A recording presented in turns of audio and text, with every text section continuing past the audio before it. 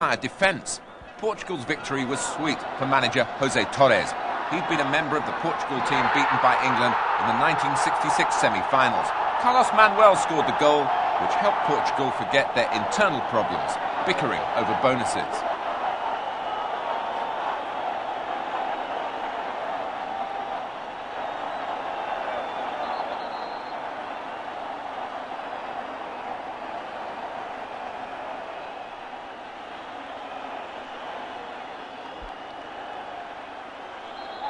Portugal's tactics still revolved around the system which had brought them to the European Championship semi-finals in 1984. They had successfully smothered England's attack now, but they weren't quite up to coping with Poland. The Poles had drawn their opening game against Morocco, and this victory assured them of a place in the second round. Wlodek Smolarek, a veteran of their 1982 World Cup lineup, shot beneath Vitor Damas, Portugal's reserve goalkeeper. Damas had been rushed into action after the first choice keeper, Manuel Bento, broke a leg in training.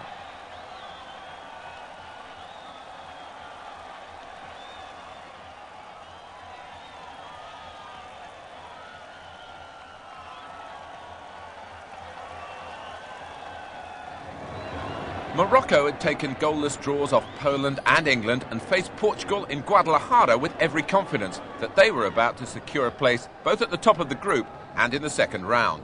That would make history.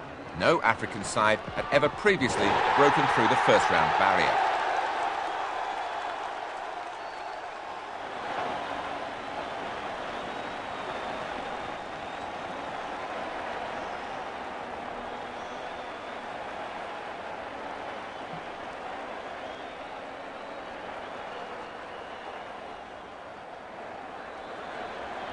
Khairi, their two-goal hero against Portugal, played for the army team FAR. They were reigning African club champions.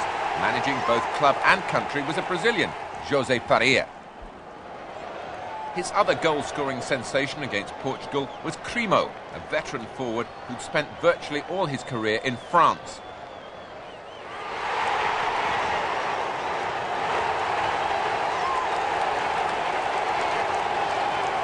Portugal could offer little by way of reply. Substitute Diamantino chipped in with one late goal. Portugal's fighting spirit had been washed away by Morocco and the rain, along with their prospects of World Cup progress.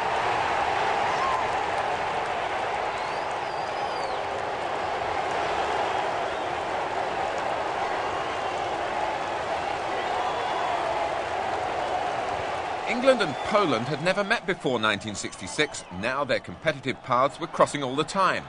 England manager Bobby Robson had been forced to make changes. Ray Wilkins was suspended after being sent off against Morocco. Bryan Robson had been injured in the same match.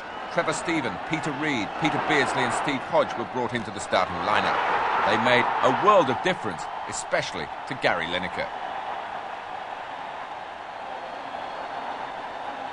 Inside 35 minutes, England were 3-0 up. All the goals had fallen to Lineker.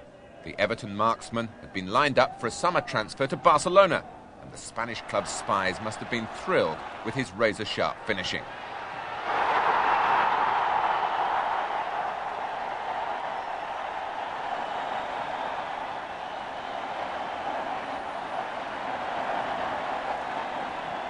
Poland were well beaten. Yet they too would join England in the second round. Monterrey was a happy city that day for the fans of England and even Poland, to say nothing of Lineker himself.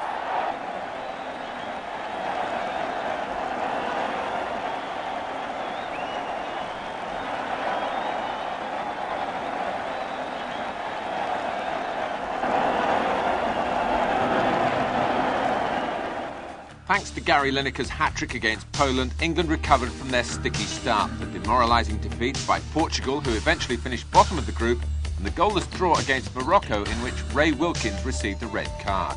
Only nine goals scored in the six matches. Morocco topped the group, and Poland, as well as England, went into the knockout phase. 16 countries in the second round of the 1986 World Cup. From now on, any slip could be fatal to the hopes of winning the competition. Argentina in all blue here met Uruguay in one of eight second round ties, all eagerly anticipated, with the prospect of a penalty shootout if the scores were level after extra time.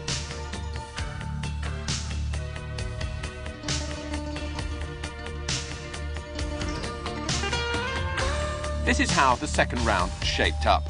Belgium against the Soviet Union, Brazil against Poland, Mexico versus Bulgaria, Argentina and Uruguay, England and Paraguay, France versus Italy, West Germany against Morocco, and Denmark against Spain.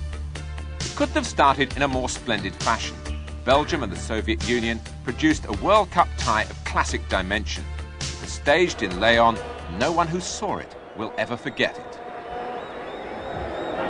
On the face of it, it looked a stroll for the Soviets. They'd roared through their group matches while the Belgians struggled. They had been scoring almost at will while the Belgians had appeared barely willing to try a shot. In the Nuevo Campo Stadium in Leon, Belgium raised their game to match the Soviet Union for skill and endeavour. Igor Belanov had provided the Soviet Union with a first half lead, but in the second half, Belgium hit back. It was tit for tat football, with Enzo Scifo equalising.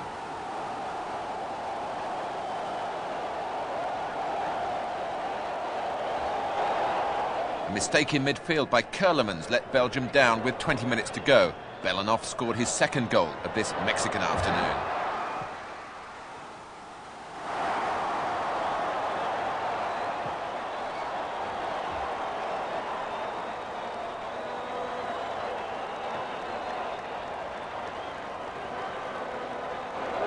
Far from being downhearted, Belgium grew more determined. Ceulemans made up for his mistake by equalising 2-2. He looked suspiciously offside. The Swedish referee Erik Fredriksson had no doubts. The match ran on into extra time.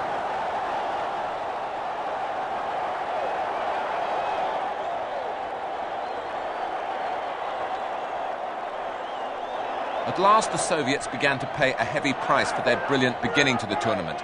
Winning a World Cup requires a team to pace itself. The classic route to glory begins with a slow start. The Soviet team was not a machine.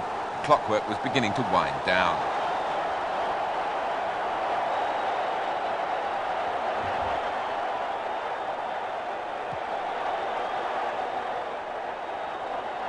Extra time goals from Stéphane Demol and then Nico Claesen lifted Belgium into the lead for the first time.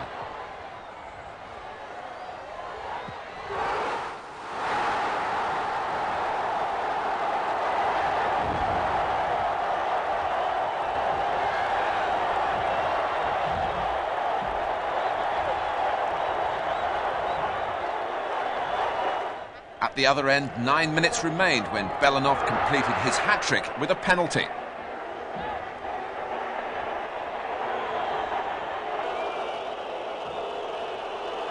Goalkeeper Pfaff was furious, but not for long. Belgium had reached the quarter-finals. Back in 1938, these two nations had shared a remarkable match, Brazil winning a first-round World Cup tie 6-5. Almost against the run of play, Brazil went ahead here. Careca pulled down. And Socrates, off just two steps, converted the penalty.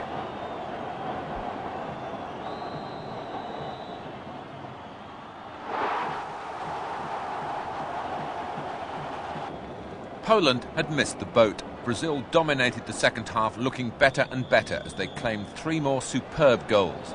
The samba drums went on beating late into the night.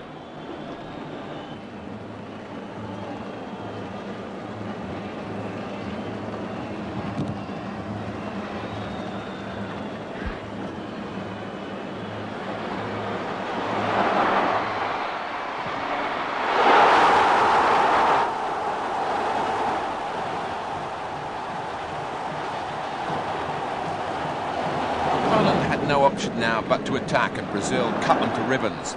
Careca ran from the halfway line, timed his back heel to perfection, and defender Edinho finished it off.